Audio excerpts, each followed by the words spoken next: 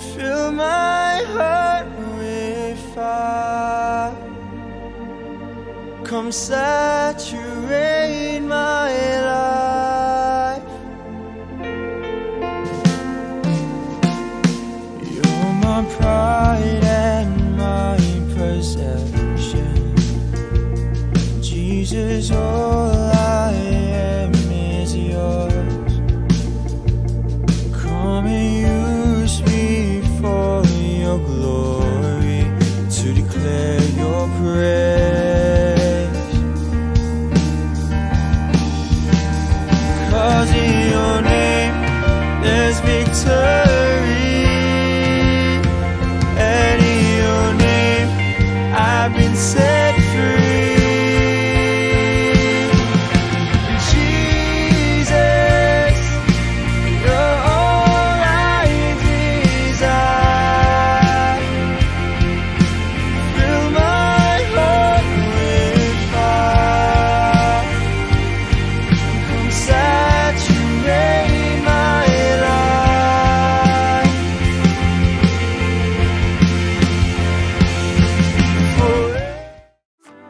new to our church, do fill up your welcome card so that you can redeem your free gift. If you've parked in Bangunan Yin, don't forget to validate your Touch 'n Go card. One of the DNAs of SIBKL is to be a generous church. It is now so much easier for you to give. You can give via online banking transfer or DuitNow transfer. All you need to do is to scan this QR code and it will lead you to our giving page. You can also drop your tithe and offerings in the box just outside the sanctuary. It is because of your generous giving that we can be a blessing to others. Do you have some pre-loved items to give away? You can donate to Bless Ministry Collection Point at SMCC. You heard that right. Not Bangunan Yin, but at SMCC. Head up to the car park to level 1A and drop off your donation to share your blessings. Scan this QR code for more information.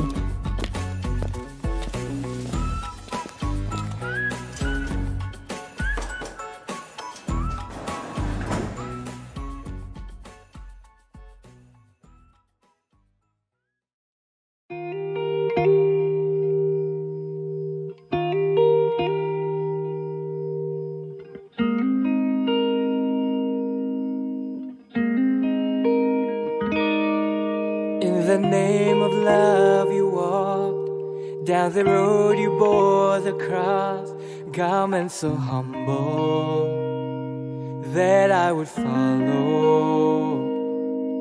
In the name of love, you gave, pierced and broken to the grave. Lord, I am captured. Your love enraptures me. I believe you are the Son of God.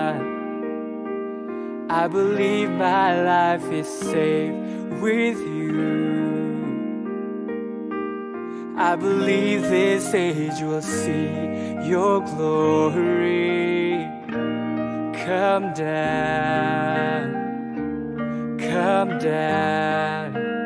Behold the Lamb set to shame on earth in the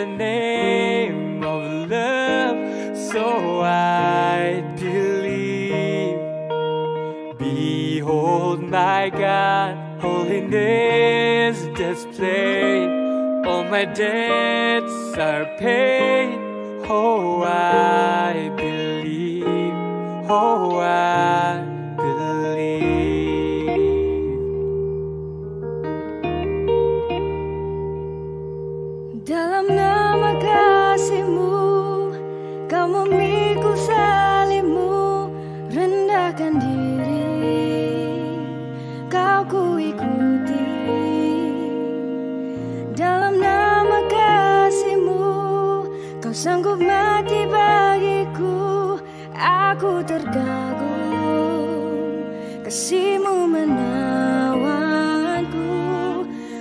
percaya kau anak Allah. Ku percaya hidupku selamat. Ku percaya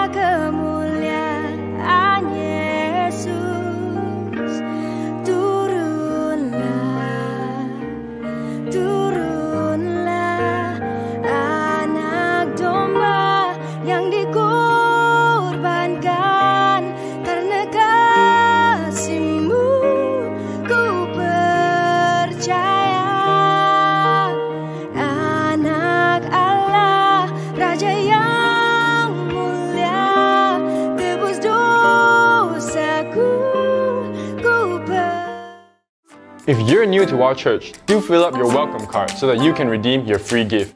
If you've parked in Bangunan Yin, don't forget to validate your Touch 'n Go card. One of the DNAs of SIBKL is to be a generous church. It is now so much easier for you to give. You can give via online banking transfer or DuitNow transfer. All you need to do is to scan this QR code and it will lead you to our giving page. You can also drop your tithe and offerings in the box just outside the sanctuary. It is because of your generous giving that we can be a blessing to others. Do you have some pre-loved items to give away? You can donate to Bless Ministry Collection Point at SMCC. You heard that right. Not Bangunan Yin, but at SMCC. Head up to the car park to level 1A and drop off your donation to share your blessings. Scan this QR code for more information.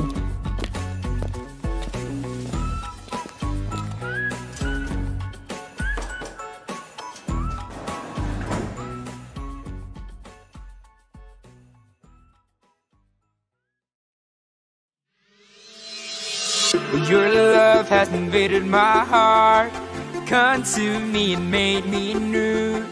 How could I live but to live for you? Ooh, ooh. I'm leaving my past behind. Freedom in Christ is mine. Won't live for me, I only live for you.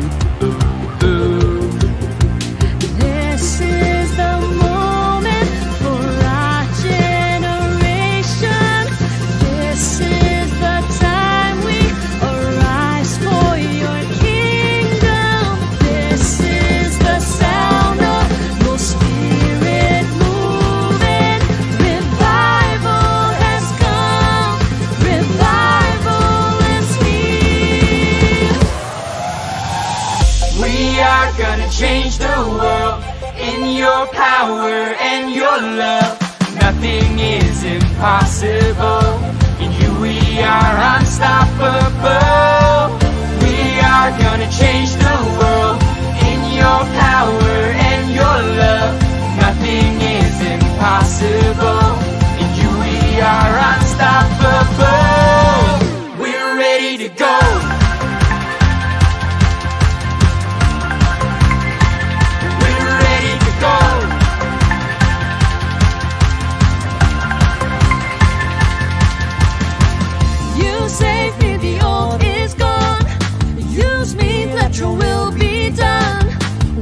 Shine your light as I live for you.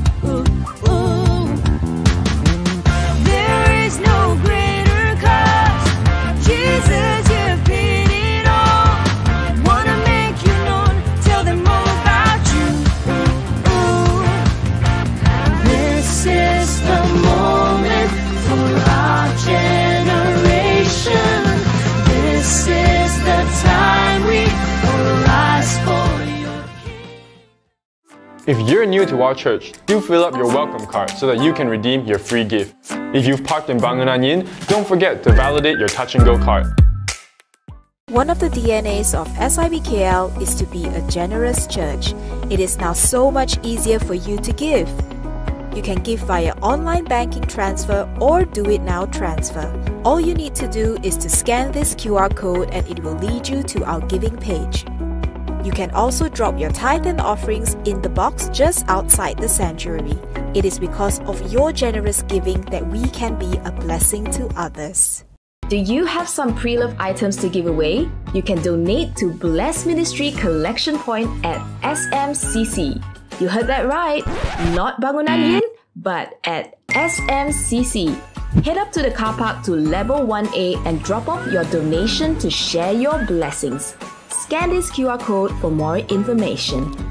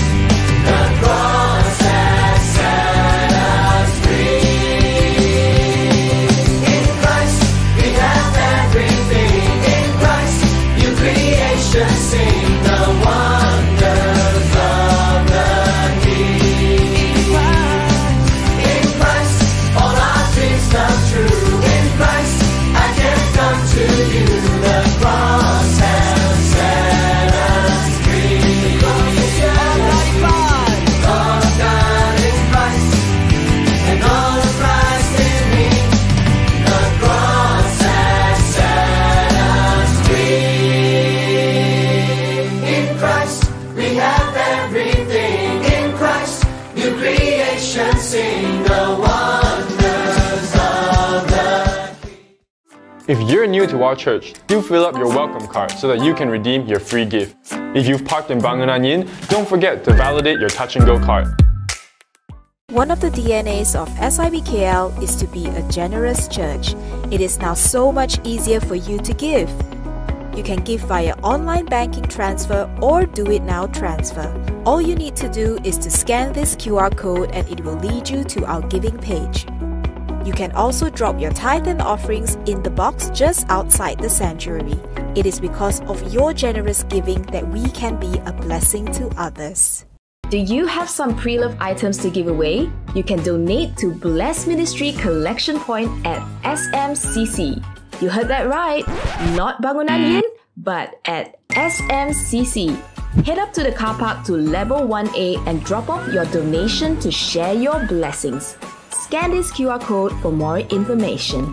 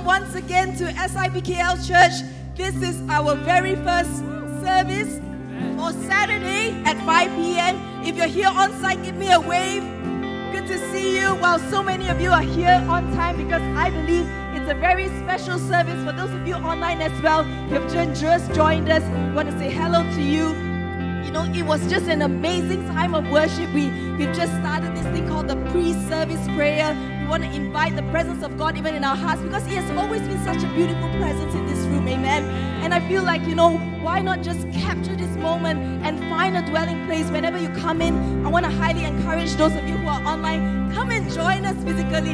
Why don't we just be, give a big shout of praise to Jesus for those of you on site? Say, come on, it's such a beautiful time to worship God on site, and we can't wait to welcome those of you who are online to come and join us for our pre-service prayer. We'll come together 10 minutes before service and worship together and let our hearts for an amazing word and a most amazing time of worship in the presence of God. Amen. Amen. Wonderful. If you're here for the very first time, I hope you're blessed. If you're here for the first time, give me a wave. Anyone here here for the first time? Yes, the sister there. Hi. Welcome, welcome. So good to see you. If you're here for the first time, we want to warmly welcome you to head on downstairs to the hospitality lounge to say hello to our connectors and our leaders. And we would love to give you a very special gift. And if you're rushing, you can just head on outside to the connect counter, and our friendly connectors would love to connect you with you because there is no strangers in this house, only family. Amen? Yeah. And those of you online as well, there should be a link that will be popping up from somewhere here to let you know that you can write and say hello to us on our WhatsApp chat, and our connectors would love get to know you better. You're not just a name on the screen, but you are also a soul and a beautiful life where we love to connect with you better. Awesome. And I believe today is a very special service because we are having a lot of little babies and children there. If you could turn to your right and say hello to the little babies, that's our child dedication service right there. We're going to be dedicating babies because we are a very fruitful and multiplying church. Amen? Yeah. So good. So awesome. So, yes, I am so pumped up right now because I know that the Lord is going to do an amazing, amazing thing. So, the next segment of the of our service today is our SIBKL news. This part is a very important part as well because it shares with you what happens and what goes on even in our church because all these events that we have put together are specially for you because we love to see you grow in community and grow in Christ. So why don't you just fix your eyes on the screen right now for the SIBKL news.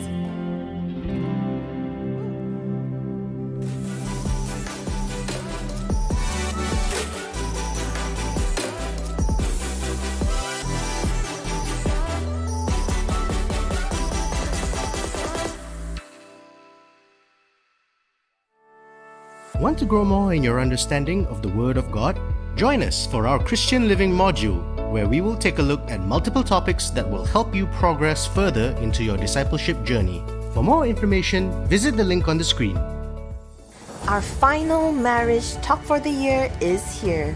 Come here as they share about the six keys to a thriving marriage. The details are on the screen now, so see you there. The Healing Ministry has started an initiative called Healing Truth, a podcast exploring the healing scriptures in the Bible through the lens of God's promises to us. Episodes will be updated and made available on Spotify, so go check it out now and be blessed.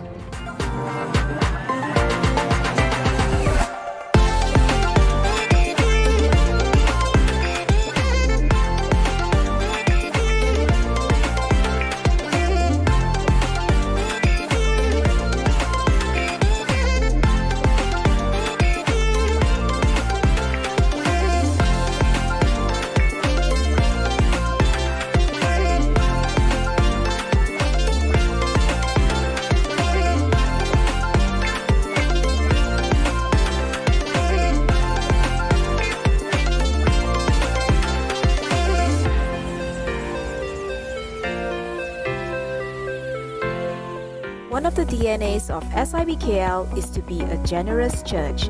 It is now so much easier for you to give. You can give via online banking transfer or DuitNow transfer. All you need to do is to scan this QR code and it will lead you to our giving page. You can also drop your tithe and offerings in the box just outside the sanctuary. It is because of your generous giving that we can be a blessing to others. If you're new to our church, do fill up your welcome card so that you can redeem your free gift. If you've parked in Bangunan Yin, don't forget to validate your Touch 'n Go card.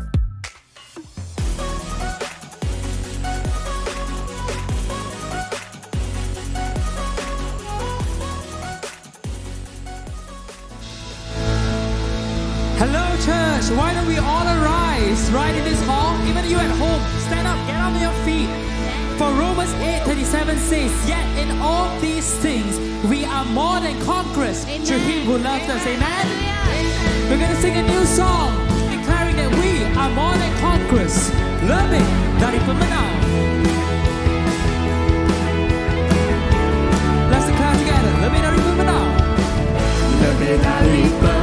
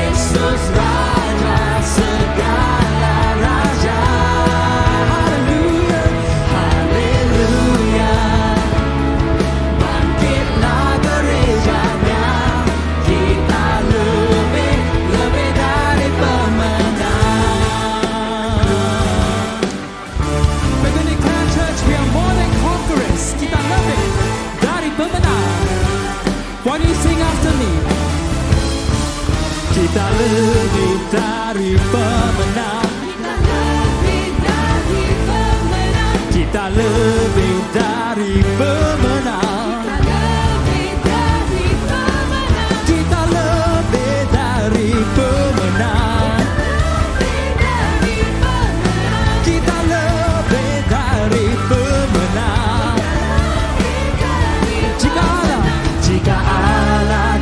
pihak kita. Siapa dapat melawan?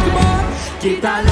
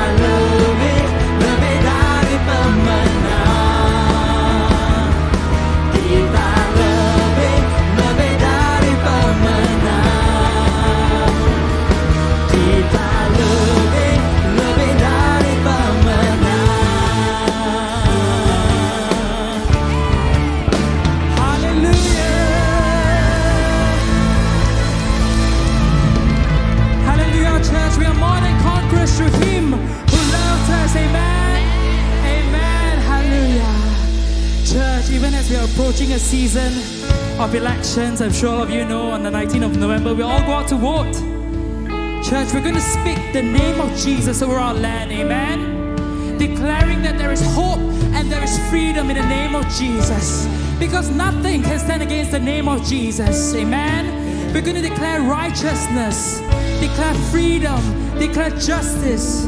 The justice of God will rule and reign over our land as we speak the name of Jesus. That there will be hope in every heart and in every mind. Let's sing. I just want to speak the name of Jesus.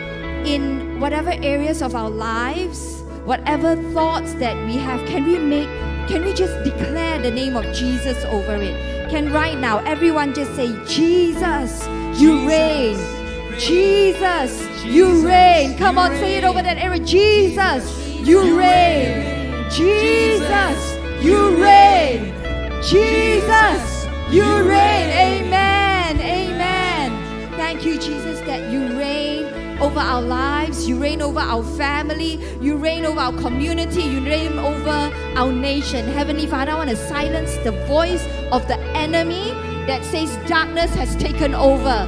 Lord, whether it's the family situation, Lord, it's, it's our nation, whatever it is, Lord, we want to silence the voice of the enemy that says darkness has reigned. No, light has come. We have a God that reigns. And so, Lord, today we want to take confidence that we walk, we step into that glory. Lord Jesus, give us that confidence. We have a God that is so big, so strong, and so mighty. There's nothing our God can do for our families, for our land, for every part, in every areas that we feel so bleak. Heavenly Father, be big in our lives, be big in His place. Thank you, Jesus. Thank you, Lord. In the mighty name of Jesus, I pray. Amen. Amen. Amen. You may be seated. You know, I just feel it is so good to come into the house of God and just worship. I feel there is power. I want to encourage all those online as well to join us soon and let's worship Jesus together. Today is a very special day because we have our baby dedication. Woohoo! Right now, um, you know, it's it's it's a very special time. I'm gonna ask them up shortly. I'm gonna call their names, but if all the parents can um, rise and come forward, we have two of our pastors' children that's being dedicated. We have baby Nathan Elijah Tan and baby Azrael Eli- Eliza Vergis, Pastor Aaron and Pastor Joel's um, uh, babies. We also have Pastor Chew and Pastor Lee Choo's grandchild, um, Ari Chu Wei Sheng. If yeah, awesome. We also have Adriana Lim, Asher Low, Constant Low, Eva Grace. If you can all just stand and just come forward as I read the names out.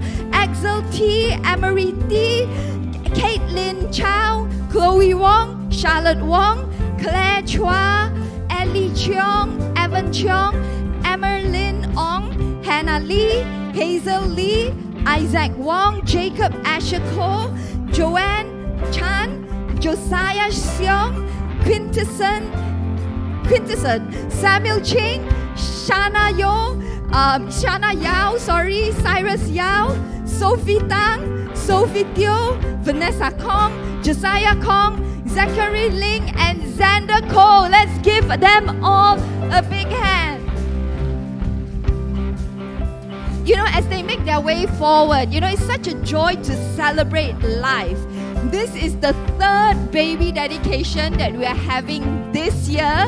We managed to clear up all the MCO babies. You know, we, um, yeah, it's not just a baby dedication, it's child dedication. The younger, the older, we have them all here. Um, and some uh, we still have people on the waiting list to come join us for our uh, baby our child dedication next year and it brings us such a joy um, to celebrate life we have 33 children today that's being dedicated and I know they're arranging them in the right place. And so, even as they do that, very shortly, we will get wow. Let's look at all these wonderful babies that's right in front of us. Wonderful. Can I get all the families to turn to the screens right now? We just want to declare these five commitments, the parents' commitment, as we bring before the children, the babies, to our mighty Savior, to the Lord. We want parents to um, even declare these five commitments. And at the end, we will have a dedication for the baby. Um, but let's declare these five commitments together. Are you ready, parents? All right. Church, we all have children. Can we also declare these commitments as we support the parents in front um, to dedicate their babies? Ready? One, two, three. I commit to honor Jesus, the head of my house, by protecting my home, always acting in love, and guard what God is building in my family. I commit to intentionally nurture a loving environment by first loving my spouse as a strong foundation for my child and to constantly create a secure and loving atmosphere in my home. I commit to establish my household in Christ by growing my child in the ways of God through regular family altars, devotional time at home. I commit to serve Jesus as a family, to safeguard the unity of my family, and to sow into my child a heart to serve God's kingdom. I commit to release my child to his or her prophetic destiny by regularly praying for God's will over my child's future and trusting God in everything that he or she goes through. Amen. Amen. And let's say this prayer together. One, two, three. Father God, thank you for blessing us with the gift of life. You are the head of our family, and through you, all things hold together. Therefore, we are confident that he who began a good work by the gift of our child to us will bring it to completion to the day of Christ Jesus. We dedicate our child to you, and Jesus be the center of our family. In Jesus' name I pray. Amen. Amen. Right now, can I get parents, you to turn to your child and let's speak life? Let's speak life into our child. And so I want you to articulate the name of your child, every sentence that we articulate and speak life over this child. So you declare um, your, your child's name. Nathan, you will love the Lord. Are we ready? Ready? One, two, three. You will love the Lord your God with all your heart, soul, mind, and strength. Say your child's name again. You are precious gift made in the image of Christ. Your child's name. You have a strong foundation in Jesus. You will encounter Jesus and always burn for Him. You will fear God and keep His commands. You have the peace of God in you through every trials and challenges. Your child's name. You will do great things for God. You are obedient and you will be a very good child. You will have a strong and loving relationship with your family, parents, and siblings. You are our pride and joy. Declare your name, child's name the last time. You have a purpose and will walk in your prophetic destiny. Amen. Amen. Let me just say a prayer before we end this child dedication for all the babies that are here and all the children that is here. If you can all stretch out, congregation, if you can, you know, church, if you can just stretch out your hands to all these new life. Thank you, Jesus. Thank you, Lord, that you give life and you give life to the full. And so, Lord, we ask that the fullness of God will come over each and every child right now. That your love and your presence will take hold of these children. And Lord, we just want to declare, as we have said, the five commitment from the parents and this list of declaration that we have spoken over this child that it will come to pass. That the enemy cannot thwart the work of the Almighty over this child because he will have a great future ahead. So thank you, God, for each and every life that is here. We lift it up into your mighty hands. In the mighty name of Jesus, I pray. Amen. Amen. Wow, thank you so much. Thank you, parents. You may go back to your seat. You know, it's such a joy to have all these parents here. And when they go back, they actually, with every parent, we will give them a baby certificate, a baby dedication certificate to mark this significant event, and also a gift. Right at this young age, they actually get a shirt with sheeps that says, Seekers of God, inspired to serve, building people. Yeah, come on. Praise God. I want to invite Pastor Lee Choo up on stage right now to give us the word of God. God. Let's give Pastor Lee Choo a big hand. Praise the Lord, praise the Lord. Come on, let's give all these parents a big round of applause. Really, it's a wonderful thing to see so many young parents coming up with their children. Come on, they, they deserve more than that. Come on, give them really a big round of applause. Whoa! Nothing is more beautiful than their children, right? That is the gift of God. Amen. All right. Even as we st- uh, come back to the book of Judges, today, I'm going, incidentally, uh, both Bayan and I didn't know that we would choose the same topic or title.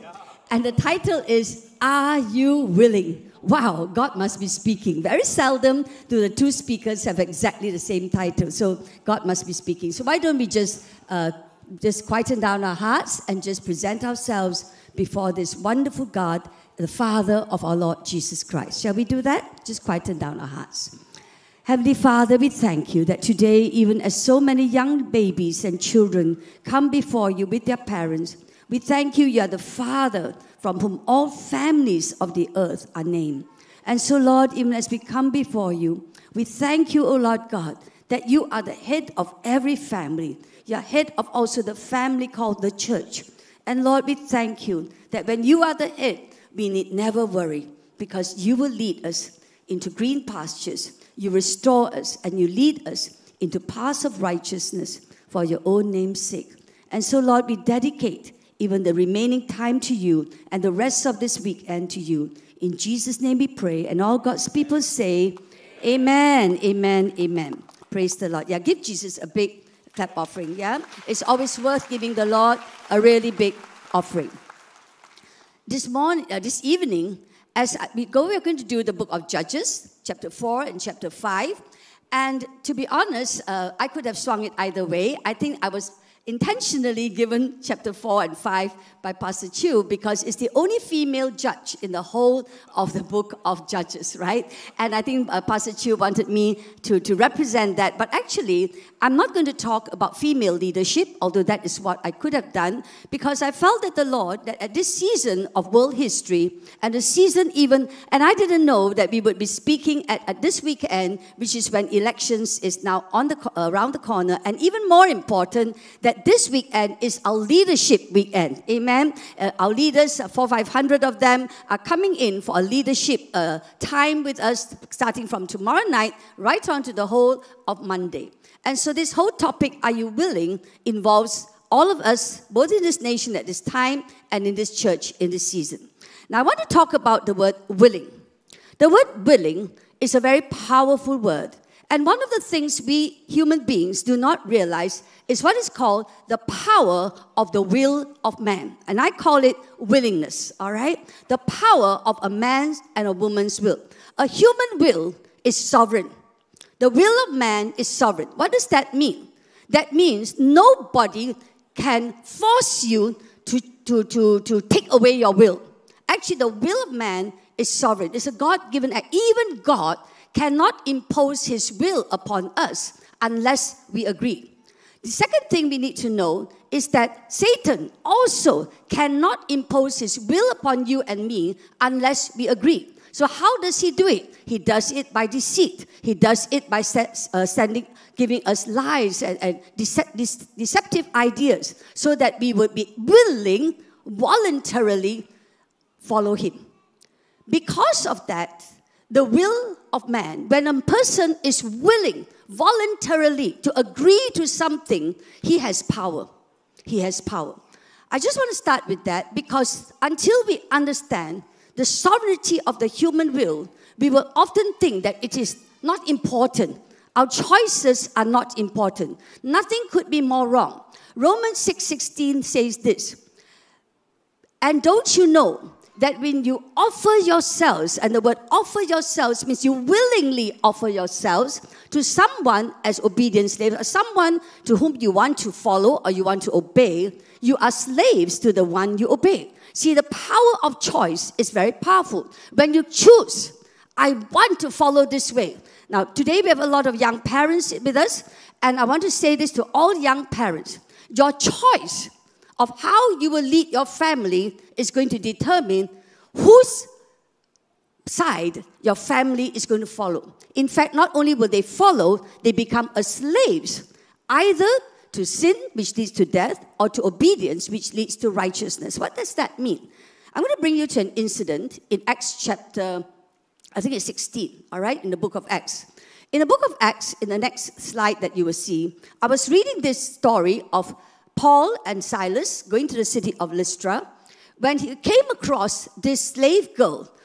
And the whole purpose of this slave girl was she was, uh, she was made a slave and she was uh, supposed to earn a lot of money for her bosses by telling fortunes. When this slave girl saw Paul, he said to him, You are the servant of the Most High God. Now, why did this passage of scripture grip me? Let me share with you what's happening in the world. Today, actually, what I want to really bring an awareness to us is that while we are looking at the book of Judges with its seven cycles of oppression as well as liberation, actually, it is a book about spiritual warfare. There is a great war in the heavenly realms for the lives, the souls, and the control of the will of man. There's a great war out there. And many of us are oblivious of it, or we think that it is not important. In fact, it's the most important thing. So when I came to this story in Acts of the Apostles, as I was reading that, I was at that time very, very troubled because I realized that there's a lot of evil in the world. The evil in the world sometimes is so great that when I think about it, wow, how do we bring up our grandchildren, our children, and our children's children in the new era that's coming? For instance, uh, there is genetic engineering coming on. And, and, and this is a frightening thing because with genetic engineering, things can change. We already know that the whole area of gender fluidity is so powerful that even just, okay, just before Liz Truss stepped down as prime minister, her government proposed a bill which was a very serious bill. The bill was that young children going to school need not they- can choose whatever gender of uniform they would wear. And to me, this is horrendous. And it is horrendous because a young child cannot yet exert their will. They do not have the power of choice. So, what is happening? Who is it that is guiding the world into such insanity? Who is it that's guiding the whole world into such insanity? And that's when the Lord says this to me. And I just want to start here by presenting this very clearly to all of us so that we know that when God asks us, Are you willing? He's dealing with a very serious issue. Because on the dark side, and I like what uh, when, when pa- uh, Pastor Lindy came out, says there's a lot of darkness, but it is like that. The dark side, the evil, Satan, has managed to deceive people to surrender their wills to him, to obey him, to follow him. The moment a person surrenders himself to the dark side, to the paths of darkness, and agree to follow him, he is a slave to Satan, a slave to the paths of darkness. It is these slaves of the power of darkness that will now come against the sons of light. So, what happens in the whole story of Acts of the Apostles of Saul, uh, Apostle Paul meeting this girl? The girl turns to him and says, "You are the servant of the Most High God." That word "servant" is doulos. It is a willing slave. The reason why Paul was able to come against all the darkness in the whole Roman world at that time is because he chose and willingly became a servant or a slave of our Lord Jesus Christ. So today I want to start off very clearly by saying there's a clash in the heavenly realm. Spiritual warfare is nothing but a clash of the heavenly realm for the control of the will of human beings.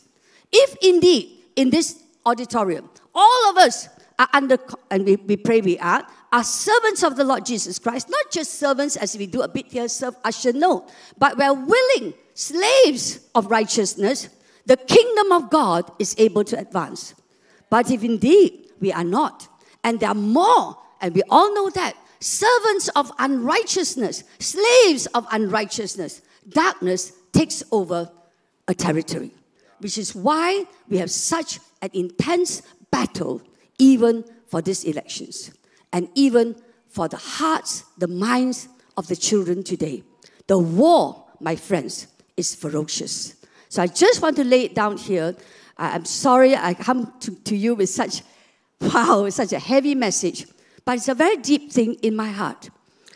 You know, brothers and sisters, unless the church awakens to what their role really is, actually, we're going to be defeated even before we start because we're totally unaware that God has given us the power of choice, the power to obey God, the Most High God, a servant of the Most High God, or are we allowing other people to obey the devil and they oppress us? Pastor Chew preached a very powerful message two weekends, or was it last weekend, on oppression. Oppression, as he describes it, is the power of darkness gripping us. And no matter how godly you are, when the oppression takes place, when the principalities and powers, when the dominant spirit is darkness, we will have to come under it. Now, turn with me to the book of Judges. And we're going to look from the book of Judges what happened. Just chapter 4. All right, chapter 4. How does darkness come upon a group of people? We have heard it, and you're going to hear it again and again, uh, even as different people come up to share. When the people of a certain land reject God, like the Israelites, they did evil, they rejected God, they did evil in the eyes of the Lord, and so God allows them to reject Him. You see, this is the power of the will. Remember, I told you the whole thing is about the power of your will. If you're willingly say, I don't want to obey God, I don't accept these truths of God, I don't accept this way of parenting, I don't accept it. The moment we say, I don't accept it, it's too old fashioned. Now, the devil, remember, knows how to deceive us. So, if we say to them, these methods of parenting are too old fashioned, there's a new method of parenting called gentle parenting, whatever that means. It sounds good, but is it really good? Who is behind it? What is the powers behind it? We actually come under oppression. And God cannot, you see, the sovereignty of the human will is that God cannot oppose our choice of will. So what can He do? That's it. You chose this way, this is what you get. And because of that, the Israelite nation at that time came under this guy called Jabin, but the most powerful thing was he had a commander called Sisera who had 100 iron chariots. And for 20 years, he, they oppressed the Israelites. This is just a picture of what God is trying to say to us. Even today, do you know unless we are aware that the devil has only one desire to oppress the people of God, unless we realize that to put them under his thumb, actually, you can play church, you can come to church, you can go to, you can stay at home, you can do whatever you like. Actually, the devil has the upper hand. So today, really, the question is: Are we willing to rise up and to be a servant, a doulos of the Most High God. That's the real message. Are you and I willing just to come before God and not just to be a Christian, not just to be a believer, not just to pray a bit, sing some songs a bit, but to be a servant, a doulos of the Most High God? And we're going to explain what that means. The good news is this in the spiritual warfare, against darkness, darkness is not on the throne. Amen? Everybody says, Praise the Lord. Amen? The person on the throne is still the Most High God. Everybody said, Most High God. He's still on the throne. And I want to draw your attention to the, so I'm going to read a little bit further. So join me, just read what's on the screen. And so at that time, there was this, uh, the, the, the, uh, let's go to verse, yeah, verse 4. Now Deborah, a prophetess, the wife of Lapidoth, was leading Israel at that time. She held court under the palm of Deborah uh, between these two places, uh, right, Ramah and Bethel in the hill country of Ephraim. And then she began to she began to tell Barak, she spoke to Barak, or she sent for Barak. Well, look at her, her power of the way she walks up. She sent for Barak and asked him and told him this The Lord, the God of Israel, commands you. So go also, go take with you a 10,000 men of Naphtali and Zebulun and lead them to Mount Tabor. I will lead Sisera, the commander of Jabin's army, with the chariots and his troops to the Kishon River and give him into your hands. Now, as you read the story, Deborah goes on further and says to Barak, because Barak follows her, and they go there, and even as the war is about to start, then Deborah says to Barak, Go. Now, this is the key verse. This is the day the Lord has given Sisera into your hands. Has not the Lord gone ahead of you? I just want you to look at this verse. This is the day the Lord has given Sisera over to you. Has not the Lord gone ahead of you? This is the good news. No matter how dark is darkness, no matter how many evil servants and slaves of darkness there are, God is leading the fight against the spiritual forces of darkness. And all of you who believe that, say amen. Come on, say amen. Amen. Come, give Jesus a big clap of uh, yeah. That's what we're singing about all the time up here. What we're singing about all the time here, God is not here just to re- allow darkness to take over the earth. He's not allowing darkness to conquer the human beings, not just Christians, the whole world. God is not going to do that because God is the God of righteousness. And God is a God of justice, and God is a God of light. He will never, never allow oppression to come upon human beings. And that is why that verse is very powerful. Can I just have the verse again? Look at the phrase The Lord has gone ahead of you. I want you to give you a very good news. Spiritual battles, the person who starts the battle is not you and me. I want Christians to understand that. You don't go simply and start your own spiritual battle. It is the Lord that leads us into battle. What does it mean the Lord has gone ahead of us? Number one, He chooses the timing. Look at this. This is the day the Lord has given Sisera to you. This is the day Malaysia is being. God is saying to us in Malaysia, "Arise, shine, for your light has come." This is the day, parents. The Lord are asking you, as you dedicate your children. This is the day the Lord will go ahead of you for your children's future. This is the day, SIB, as the leaders come in together, uh, next year's team taking frontiers. Why do we have a team taking frontiers? Because this is the day, this is the time chosen by God to go into battle against the frontiers of darkness. And if you agree with that, say Amen. Amen. If God doesn't choose the time, we can't simply go. And I'll tell you this for us, for men, some of us who have been standing in the gap on behalf of this nation for the last maybe 10 years, this is the time. It is a now or never time.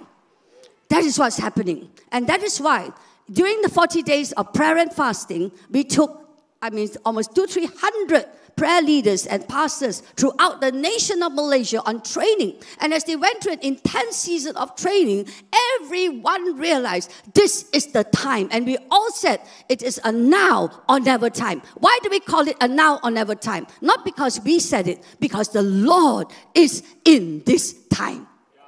And when He's in this time, He has the strategy. Look at the strategy.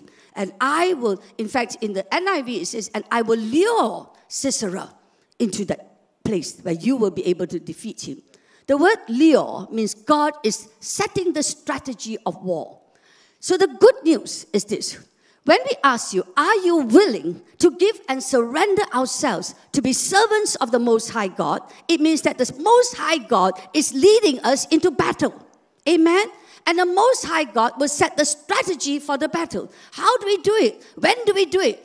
And that means when we are servant of the Most High God, we must choose to obey Him and not ourselves. That is the biggest problem. The biggest problem is if we obey ourselves. Now look at this story. Can you imagine if you see this story is very interesting, right? Because there's Barak and there's Deborah. Deborah is a woman. Barak is a man. Barak is actually the leader of that of Israel at that time. I think he might have been the chief army officer. I don't know what his title is. I don't know. But Deborah had a word from the Lord. But together, they had to move together to win the war. What is it that both of them must do? What is it that both of them must do? They must both be willing. They must both be willing. Number one, who was willing? Deborah was the first to be willing. It says in Deborah, uh, in uh, Judges chapter 5, even as village life ceased in Israel, and that means when there is darkness, it affects economy, it affects family life, it affects every kind of life. It affects political life, it affects all kinds of life. If you read that chapter in Judges chapter 5, it talks about the danger of going out in the streets. You couldn't even go out to the streets because there was oppression, there was danger, there was constant uh, in- insecurity, village life ceased. While darkness was reigning, God had aroused someone, and that woman was Deborah. So when we talk about spiritual warfare, when God is about to go into battle, he looks for the willing. He looks for those, not just willing as in willing, those who says, I am sold out for God, I see oppression, I see darkness, but I'm not going to allow darkness to overcome me. I'm going to step out, and as I step out, the eyes of the Lord run to and fro. Second Chronicles 16, verse 9 has a very powerful verse, one of my favorite verses. Can you imagine the eyes of the Lord running to and fro throughout the whole earth to look for one person, one man, one woman who would be fully willing to follow him, fully committed towards him? That is what happened to Deborah. That is what happened to Israel. Why was it that in Judges chapter 4 and 5, and you're going to hear in the story of Gideon, same story. The story of Ehud, same story. When oppression comes, God rises up. But as God rises up, there must be people who are willing. And when that person is willing, whoa, heaven and earth respond. Amen. Because Deborah was willing, I tell you, my favorite verse in the book of Judges is Judges chapter 5, verse 2. When the princes of Israel take the lead, and when the people willingly offer themselves, praise the Lord. You know, many, many years ago, uh, you know, we all love to say, praise the Lord, praise the Lord, praise the Lord, right? So I was reading this verse. What, when you, you and I should really shout, praise the Lord when this happens.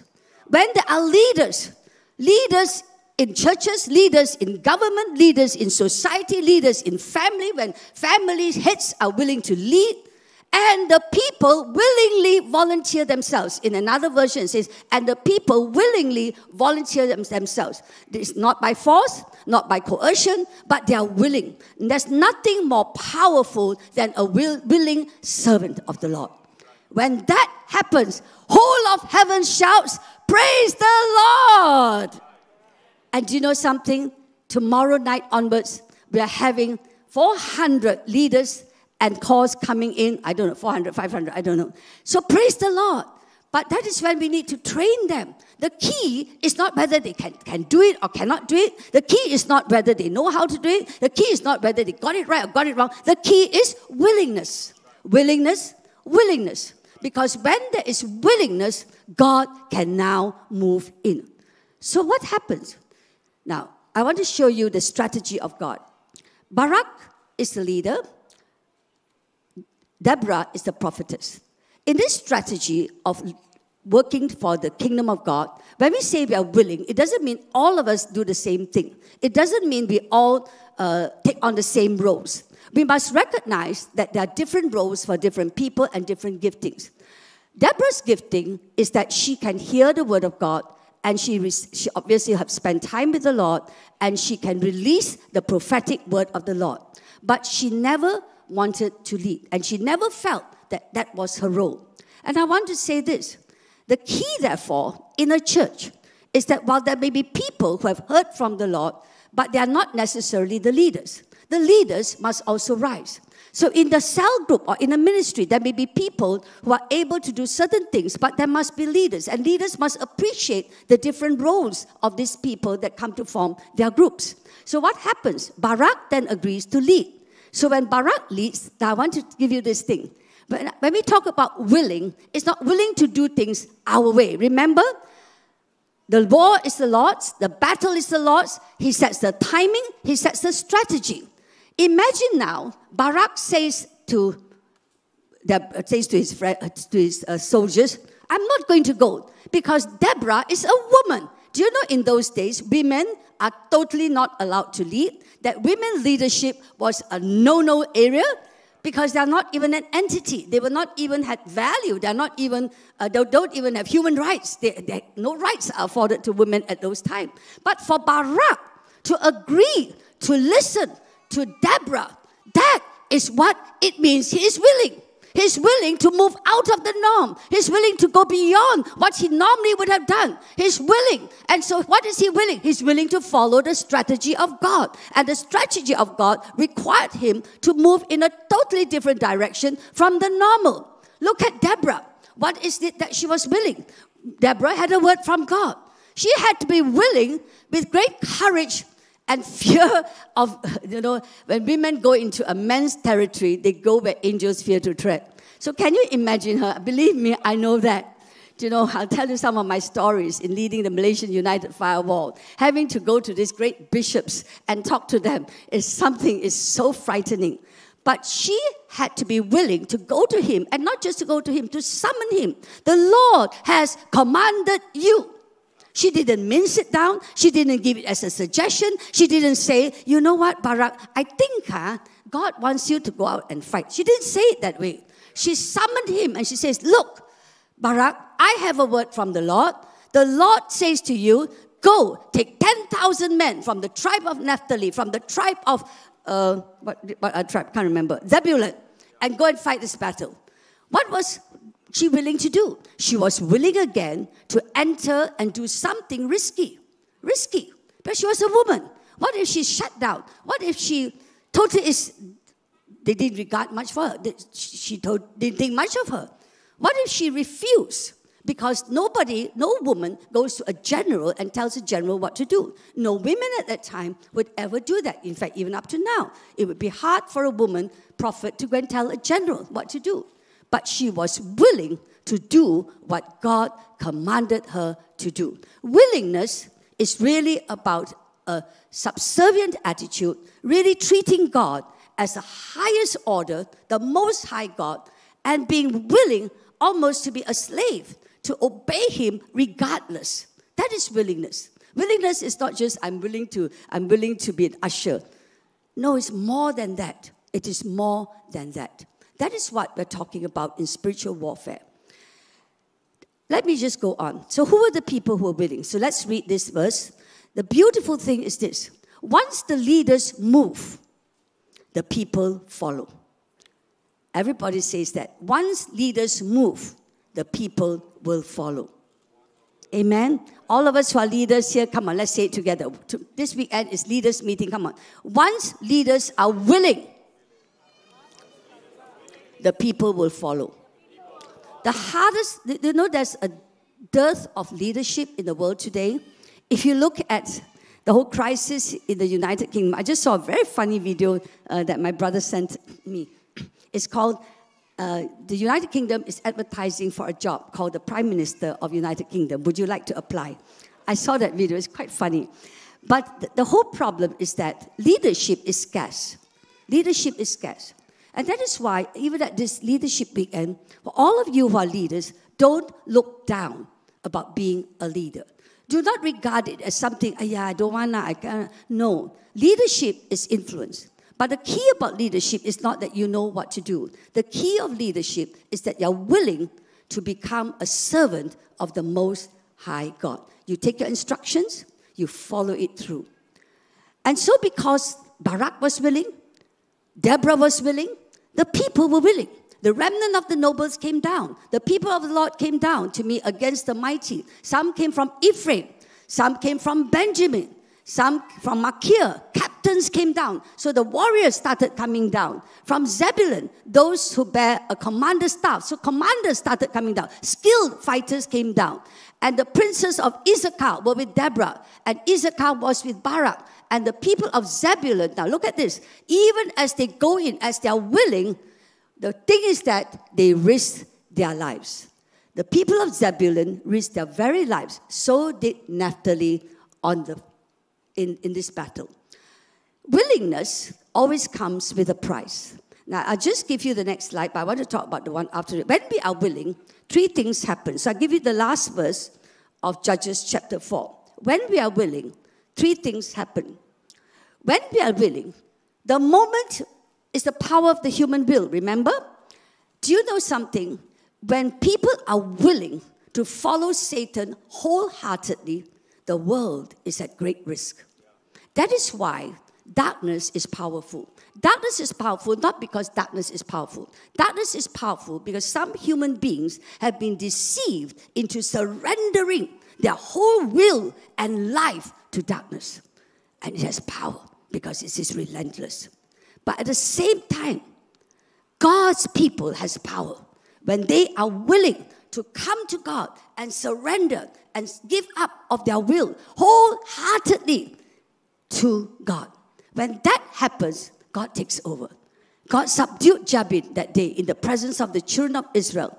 And I love this. Once the war moves forward and God pushes into a, into the front, pushes and gives victory ground for us, gives us a ground to move forward, actually the people of Israel grew stronger and stronger. In other words, courage will rise, skills will, will arise. The key starts with willing soldiers. If they're willing people, if the servants of God are willing, God fights the battle. You may say at this moment, I'm very weak, I don't know how to do it. But you know what?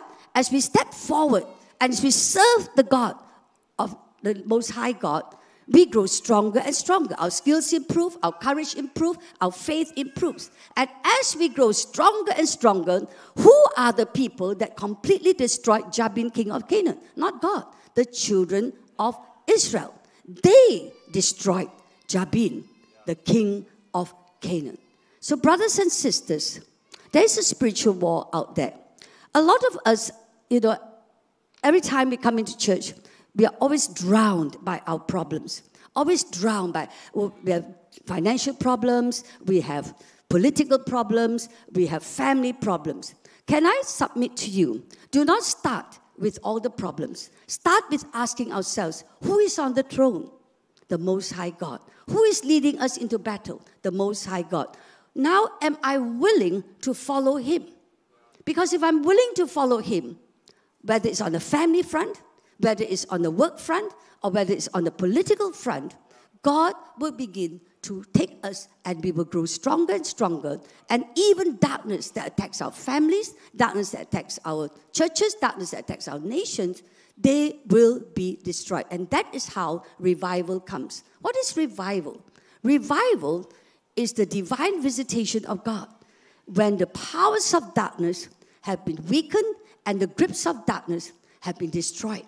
That is how revival comes. But it cannot come. Revival cannot come just because we want revival. Revival can only come when the people of God rise within them a willpower to move forward, to submit themselves to God, to advance God's kingdom, to offer themselves willingly to serve God's purposes. Amen?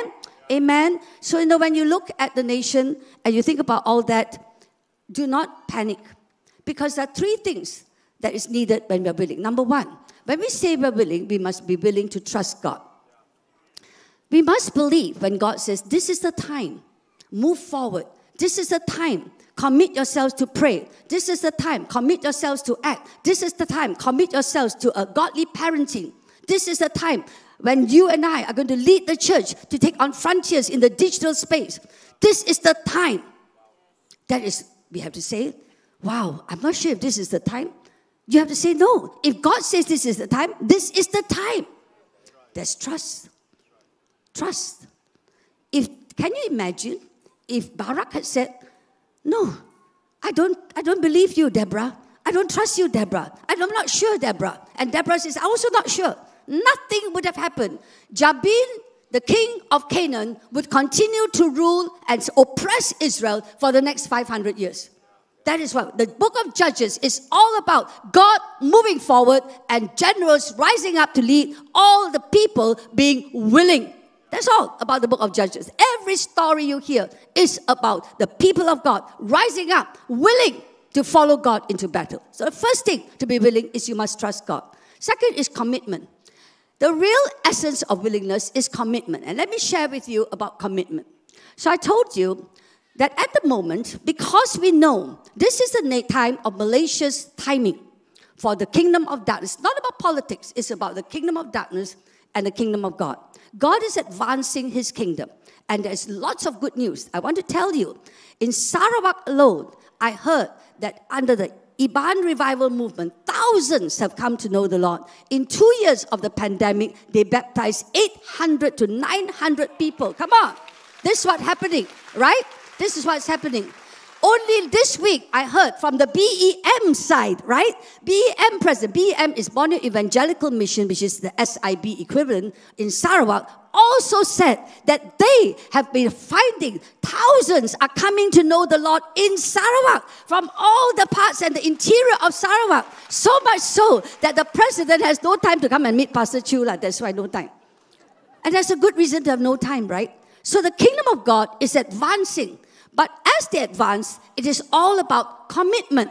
It's not about romantic ideas of willingness. It's not romantic ideas of, of, of, of, of revival. It's not. That doesn't cut. And so many of us who are committed to stand in the gap, to be the Deborahs, to pray and to intercede for the nation, we have come into training. So we took in a lot of pastors, we took in a lot of prayer leaders. Now, at the end of 21, no, how many days of training? Six weeks of training, going through the whole of Malaysia. We came to this point and we told them, we are not here just to train you, or not just here to give you teaching.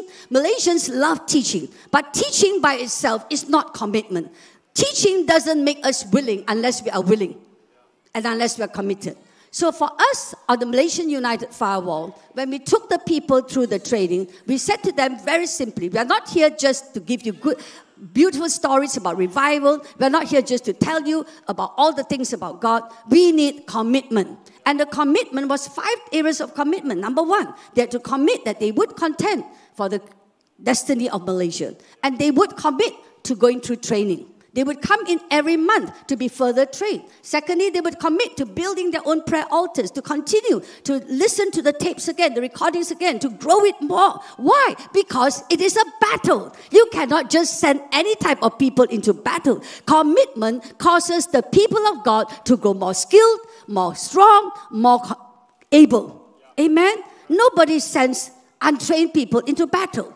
And not only that, we told them that you have to be committed to find a small group and begin to share with them and grow them. That is called commitment. But the next level of commitment was more thorough. The next level of commitment that we are asking from the people on the Malaysian uh, under this training for the raising up the army of God in Malaysia, because Malaysia is entering her destiny, is to ask people to commit to three weeks, day and night, on a solid boot camp. Do you know something? When that commitment came, it was tough. I want to say this to us in Malaysia. We long for transformation. We long for change in our nation. But are we willing to pay the price? The bottom line is still the price. When I went to Indonesia, I was so amazed at Indonesia. Do you know if you go to Indonesia today, the streets of Jakarta are clean? Do you know if you go to Indonesia today, there's an efficiency about them that is not found in Malaysia? What happened in Indonesia? Indonesians have been praying for 25 years, but it's not prayer alone. It is their willingness to walk beyond prayer towards commitment. And I'll tell you what Indonesians do that is different from us. For many of us in Malaysia, we're willing to pray. But even in prayer, we're not willing to go 24 hours. We're not willing to pay the price. We're not willing to go the next level that would lead to transformation. But the Indonesians are very different. I'll give you just two areas.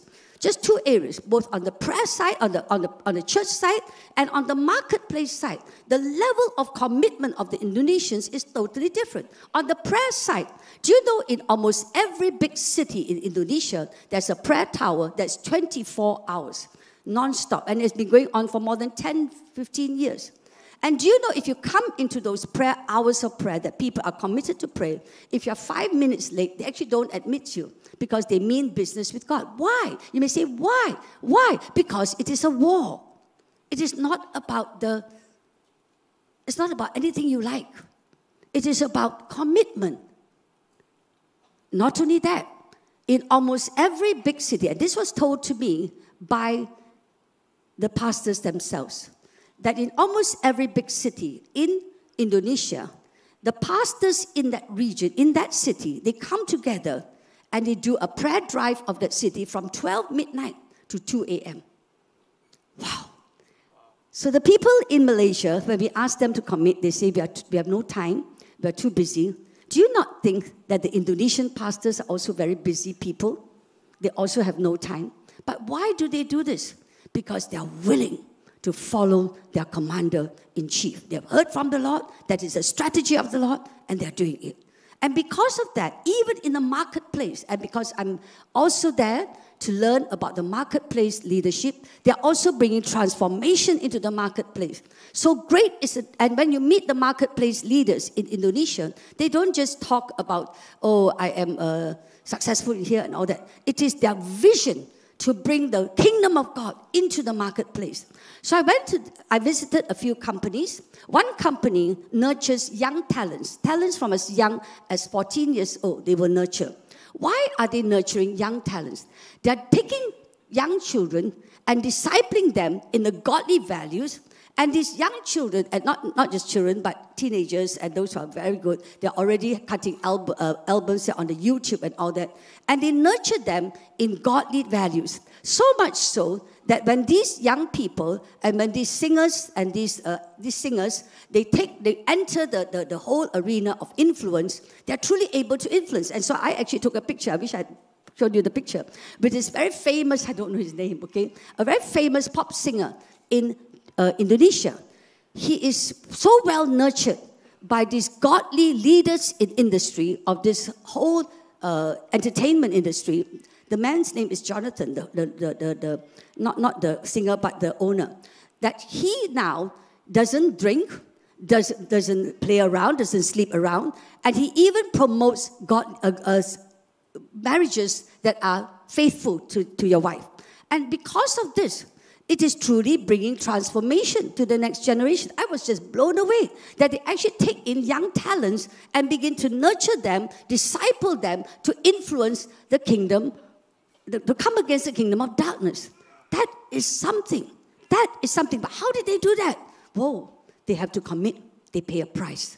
Are they popular? Sometimes it says companies will not want to cut the albums with them, but it says I'm prepared not to cut not to cut the albums with those who are not prepared to follow these principles. But you know what? I'm not worried about that because when I find these people and I nurture them, they will be the ones who can push and come against the kingdom of darkness. Another company that I visited, this company is a manufacturer of children's garments, babies' garments, baby uh, nappies, and all this kind of stuff. One of the biggest. It is an amazing story. I wish some of you would ever have a chance to visit this company. Maybe next year when we do workplace, invite these two sisters to come. They're amazing young girls. They run this factory. When I first went in 2018, the factory only housed about 200 to 400 workers. When I went this time, they built a factory to house 2,000 workers. Do you know what is the vision statement of their company? Nurturing quality anak bangsa through business. Nurturing quality, raising quality anak bangsa through business. That is why Indonesia is different. You know why it's different? The people of God in Indonesia has decided that it's not just about talk. It's not just about attending conferences. It is putting what they have learned, what God wants them to do, into action. And because of that, there is a change. I believe that we will do that as well in Malaysia. I believe that we will also be able to see changes because already things are happening. All right, we see the good news in, in Sarawak. When I watched Solomon Bul, uh, uh, Rachel Bulan and Sabrina Lau, I said, "Wow, these two girls are more than willing. They are willing to commit all the way." And, and it's an amazing story. But what happens when we're unwilling? All right, so let's look at the unwilling. In the book of Judges, let's go back to them. Like in any place in the world, like in any church, there will always be the unwilling. Why are these people unwilling? So let us look at the unwilling. The unwilling is Ju- Judges chapter 5. Let's read the, the group of people that are unwilling. Gilead stayed beyond the Jordan. And Dan, why did he linger by the ships? Asher remained on the coastline and stayed in the coast. Sorry, I missed out one. Reuben, why did you say, stay among the campfires to hear the whistling for the flocks? In the district of Reuben, there was much searching of heart. The word searching of heart, why, do, why, why is it that we are unwilling? What makes us unwilling? What makes us, actually, when we say we are unwilling, usually it starts like that. We are debating. We are asking ourselves, we are analyzing, we are studying. You know, I, have even come across this situation because, you know, as we lead the, the movement of God to pray and stand in the gap for our nation, you see a lot of stuff. You see a lot of stuff. Even very, very seasoned uh, leaders will begin to say, Really, man? Then they begin to say, You know, uh, uh, this, that, and the other, give you all kinds of ideas. And there's a lot of debate going on, and a lot of talk going on, and much searching of heart. What is searching of heart? Searching of heart means I'm not sure. I don't know whether this is of God. I don't know we should go or not, whether this is the right time or not. And not only is there a searching of heart, with the searching of heart, they linger in the comfort zone. So, three reasons. Three reasons why this group of people, Dan, Reuben, I think it's the tribe of Asher as well. Why is it that they were not willing? Three reasons. Number one, because of unbelief. They did not believe that this is the season that God was asking them to move. They probably did not even believe that God would win this war against Jabin, the king of Canaan. The second reason is not just unbelief, but it is un, uh, unaware. Unaware. Do you know what's unaware? Unaware means they're unaware that God is leading the battle. One of the big mistakes we make is that two things about being unaware. It is bad enough to not believe and trust God. But what we don't realize is that we're unaware of two things. We think to ourselves, wow, for me to step out like that and bring transformation to our nation, for me to step out like that to defeat the forces of darkness, it comes with a heavy price. Three weeks of boot camp. How can I afford it? That's a high price to pay. But I want to say, I'm not asking everyone to go to boot camp, incidentally, we don't have space for that. But I'm just giving you an example of price to pay in order to bring transformation. But I want to say this when the kingdom of God and the people of God are unwilling to pay the price, they will have to pay a higher price when the devil rules. Let me say it one more time. Be aware, my brothers and sisters, even as fathers and mothers bringing up your children, if you're unwilling to now step out of the flow of people who are wanting to follow this way and you are unpopular, you're following the other way. If you're unwilling to do that, you may say it's a high price to pay. My children won't get to do. They have to come to church. I want them to go to this. I want them to go to that. You will have, you're unwilling to pay that price, you will have to pay a higher price because the devil has his servants who are willing to fight to the end for your soul and my soul and the souls of our children. So do not think that just because we are not willing to pay this price, we are not going to have to pay any price. That is a lie. When our country comes under darkness, the price to pay is far more than the price that I ask us now to do. If we ask you to pray 24 hours, that's a small price to pay compared to 24 years of oppression. Far lower price. 24 hours of prayer is nothing compared to 24 years of oppression, affecting many generations. The second thing we're unaware, we're unaware that the moment we trust God, God leads us. Not only that, willingness, I told you, has power. What is the power? Spiritual authority. When Paul met that girl, the girl looked at him and says, This man has power. He is the servant of the Most High God, which is why she said, Don't come and torment us. What we don't realize is this, and what we're unaware is this we call the shots. We have spiritual authority.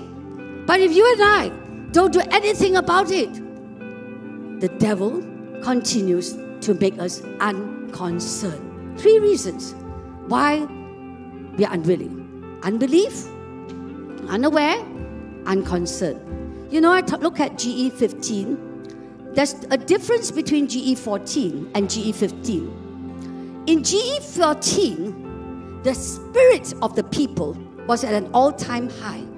The spirit of the people were willing to really go the extra mile. I heard of the stories of how the postal votes were transported on bicycles, on, on, on, on all kinds of things. Incidentally, the postal votes, the person that is committed to doing the postal votes is amazing. He's going all out to get postal votes. Is it easy for him? Does he have to pay a price? Of course. But why is he doing it? Because it's about light versus darkness. That's why he's doing it. But you know, in G14, we all rallied around it. We were willing to get up early. We were willing to go and vote. We were willing to do this. The spirit of the people were willing.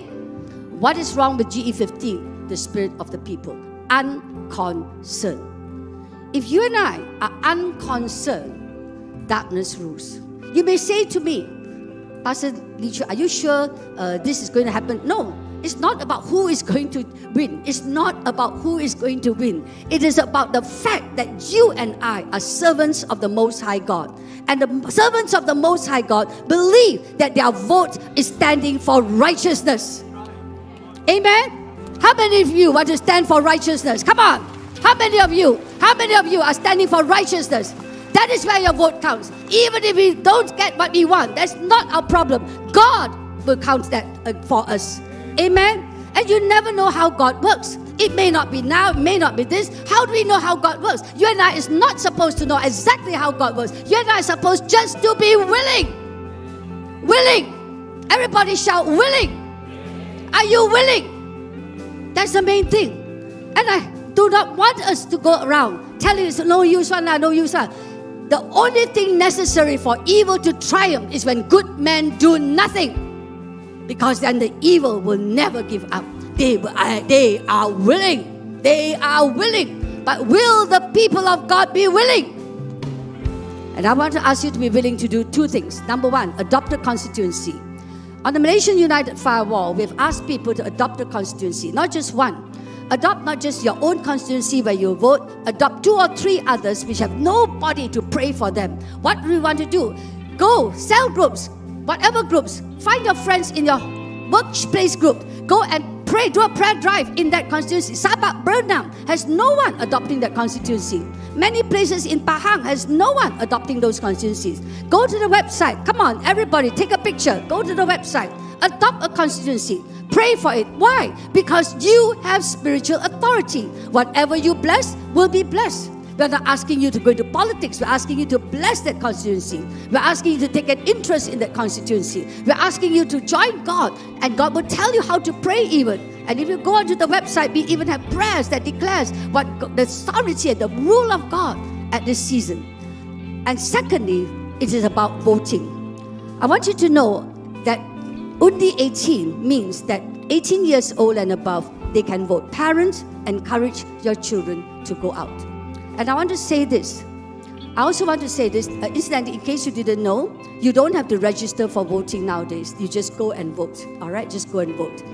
But let me end with this two things. First, a quotation from Billy Graham. Billy Graham says this In a world that might say one, uh, one vote doesn't matter, in a world that might say one vote doesn't matter, it does matter because that very one person, each person, is of infinite worth and value to God.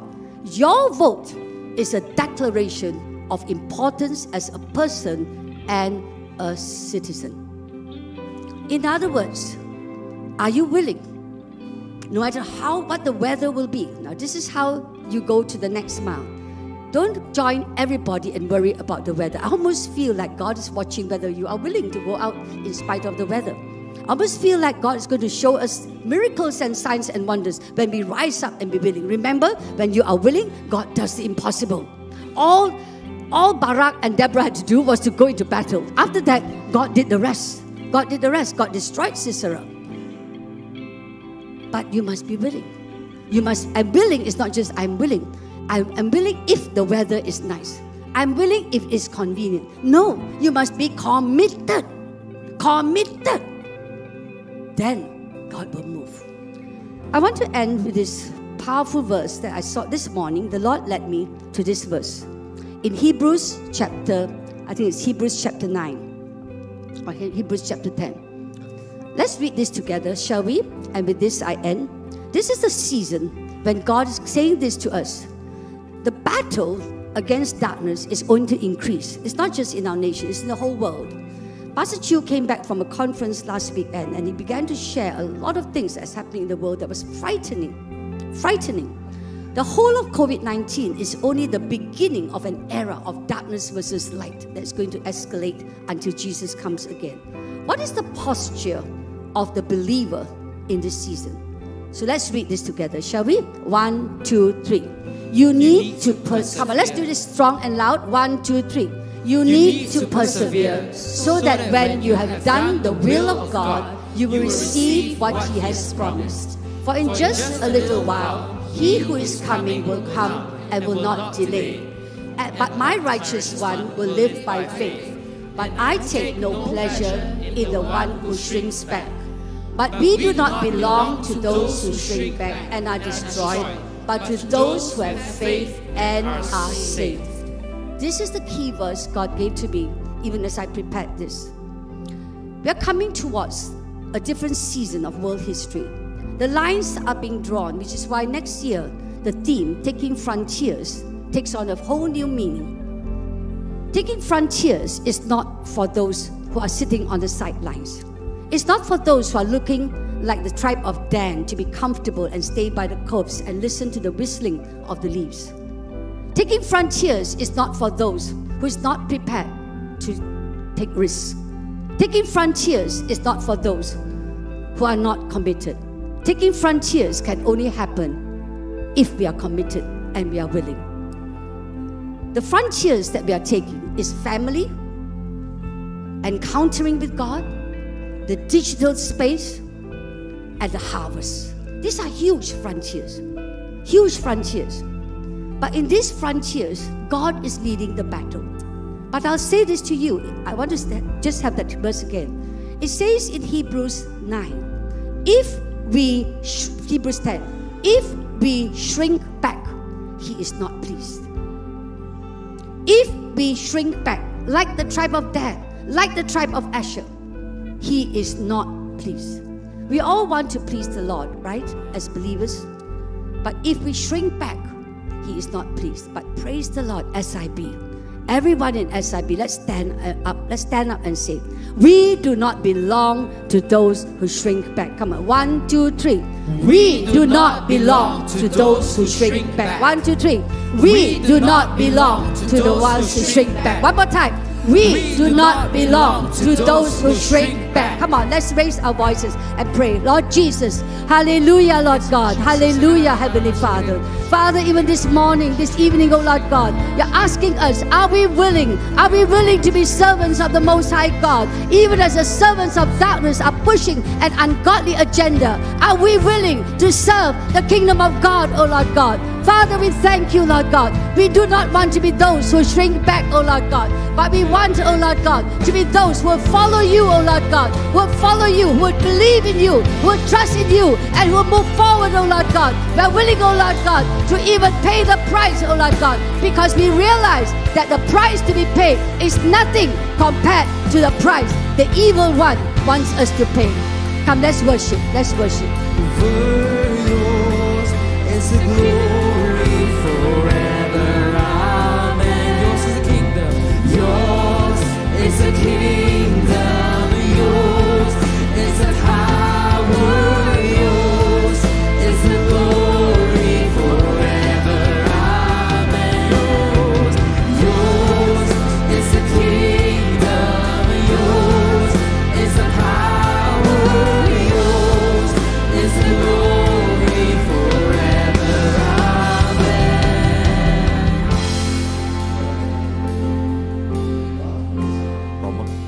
Malaysia? Do you think he is a DAP supporter? Do you think he's a Bahasa what Barisan Nasional supporter? Do you think he is I don't know what lah? No. In heaven lah, there's no no no political parties. when he looks down from heaven, he looks at Malaysia. He sees souls saved.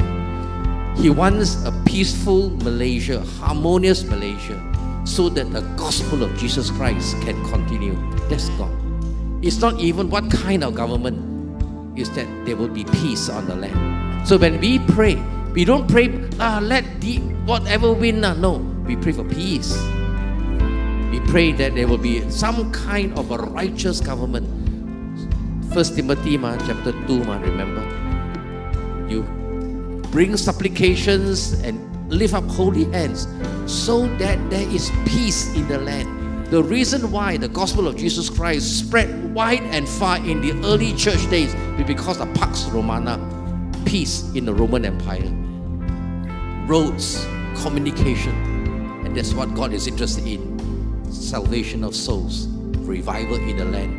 Not whether BN will win or lose, uh, that's not. Uh, but we pray what? Pray for peace. Amen? We pray for Is it more important? Yes. So there'll be no trouble, right?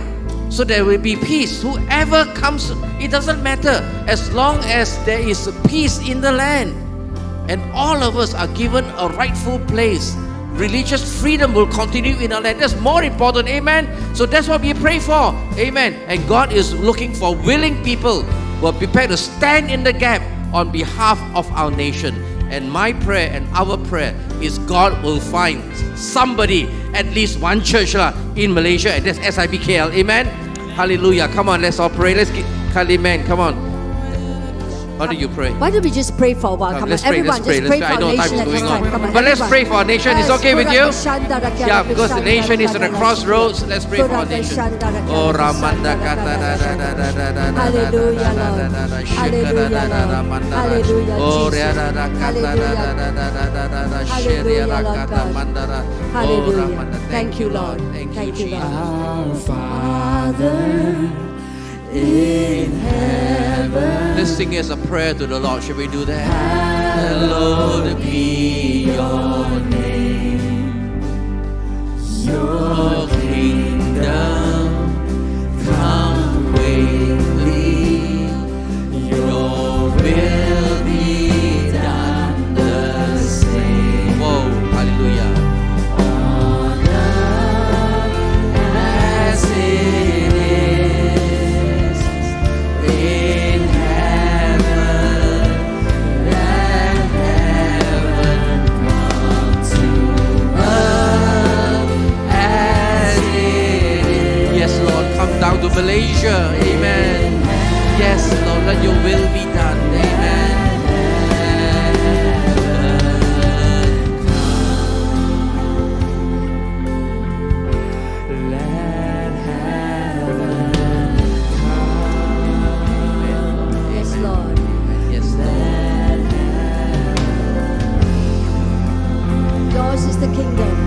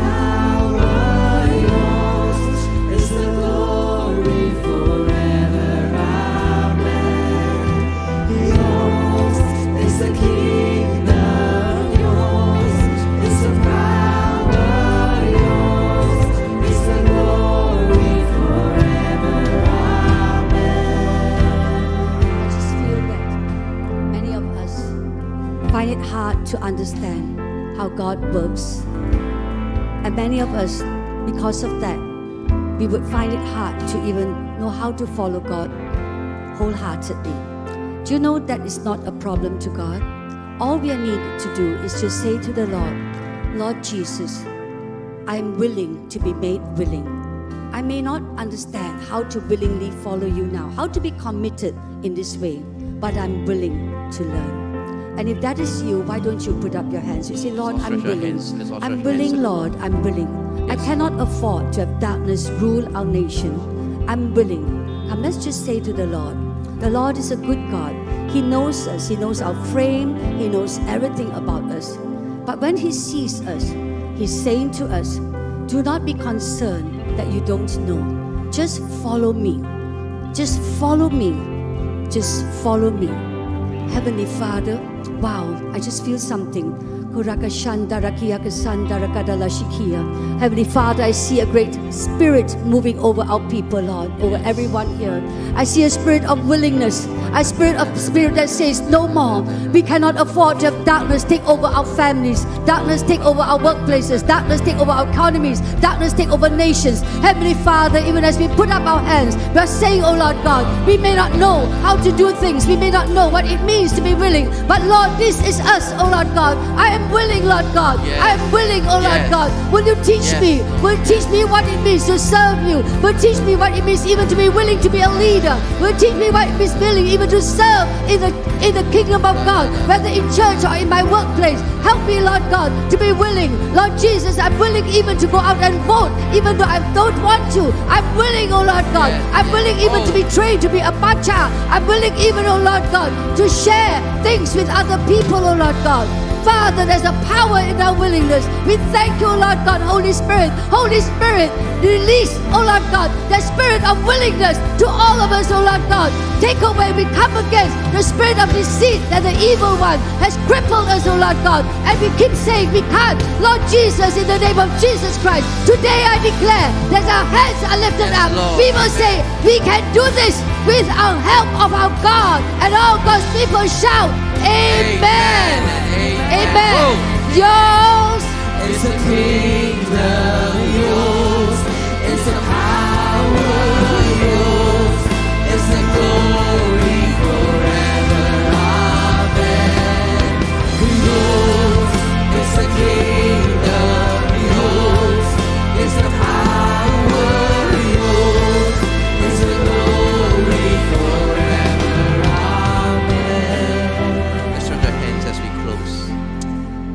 Oh, Father God, we want to commit ourselves, just only, just talk only, but walk our talk. That we will be not just unconcerned, because this is about the future of our children. That even as we have dedicated our children and our grandchildren today, we want to pray that they will find a place in Malaysia, not in another country, that there is hope and a future in our land. And it begins now. It starts today. It starts with us. So, God, we pray that even as we move now towards the elections, it doesn't really matter who wins, but more important, your will be done. As it is on earth, so be it in as it is in heaven, so be it on earth. Your will be done. Because yours is the kingdom, yours is the power, yours is the glory forever. So, God, we say, Your will be done, Your kingdom come on earth as it is in heaven. That's the main thing, Lord. Your will be done in our nation. So, separate us now with your blessing. Bring us back, Lord, not just be motivated, but help us to translate what you have spoken into action. So that in the coming days, we continue to pray. In the coming days, we continue to stand in the gap on behalf of our nation. So thank you, Jesus. And now, the Lord bless you and keep you this day. The Lord make his face to shine upon you always and be gracious to you. May the Lord turn his wonderful face to all of you and your family and always give you shalom. In Jesus' name we pray. The gospel say, Amen. God bless you. You can come back tomorrow and hear Pastor Wayan's version of Are You Willing? Amen. God bless you. Have a wonderful week.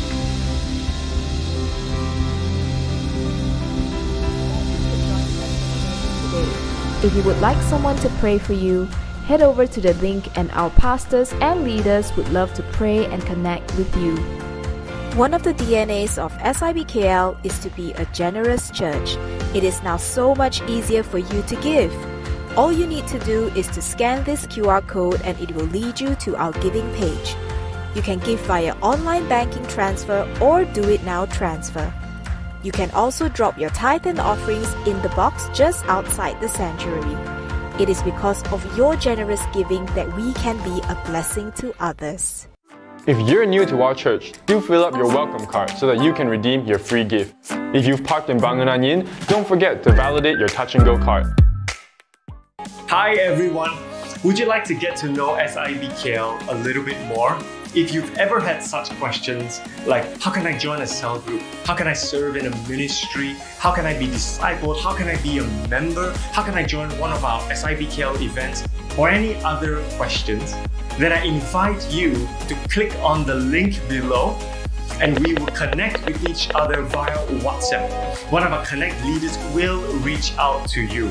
We would love to connect with you, so we invite you to connect with us. God bless.